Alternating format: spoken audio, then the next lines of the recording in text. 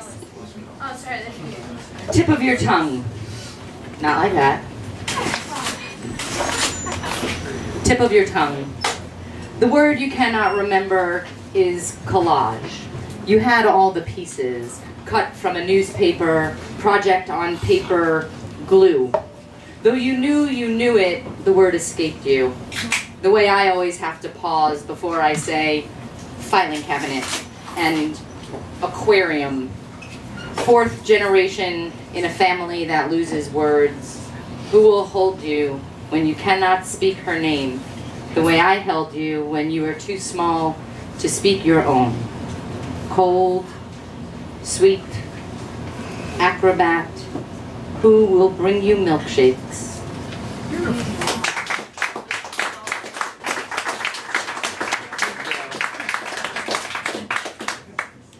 City, summer, after Rowan Ricardo Phillips.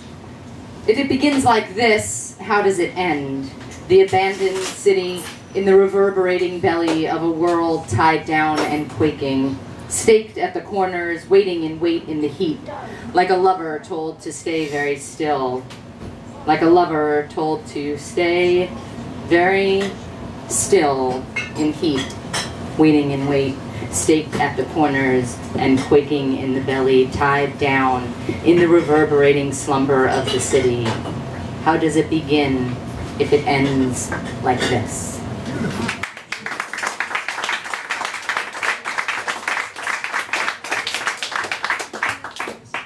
The heels make me much taller than I used to.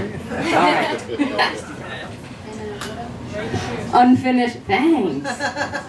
Unfinished lover. I like to sleep on the bottom two thirds of my bed, as though my dreams need extra room to dance above my head. Once in an unexpected while, the memory of he, the memory of him slips out from behind the door locked long ago. It wants to stretch its legs and fill its lungs with air. Trigger unknown, he is in my head, furthering our broken narrative. Some of the dream is true. We are both married. We are not staying long. We are young and beautiful. His skin is still soft. His kisses sweet. The attraction unapologetic, and it ends with leaving. When I wake, as it always was, I don't want him to go. I don't want him to stay. I just want to know how to find him again.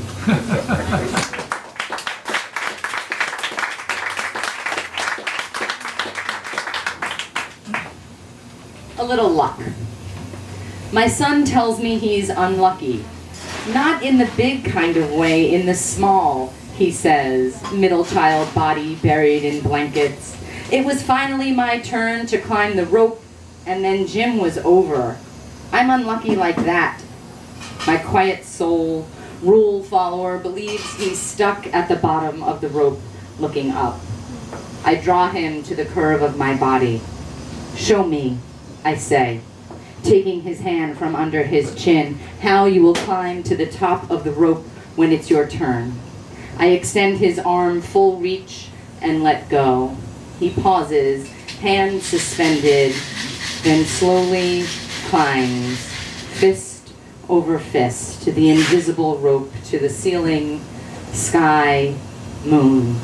Yes, when it's your turn, that's how you'll do it. He faces me, nestles his head on my shoulder, tired from climbing in the dark.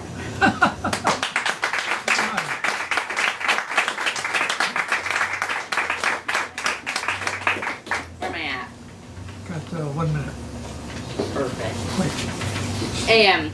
I like my body best in the morning when it has had eight hours to become itself again, and all that had been button squeezed into jeans melts back into the loose, unwrinkled softness it was born to be.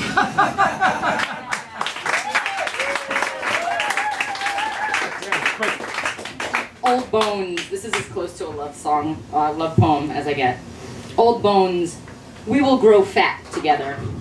Old too, perhaps, but most certainly fat. You will bald and I will sag, and we will creak instead of talk, a porch swing at sunset. Years from now, when archaeologists carbon date our bones, they will discover whole our ancient promises. Oh. Thank you so much.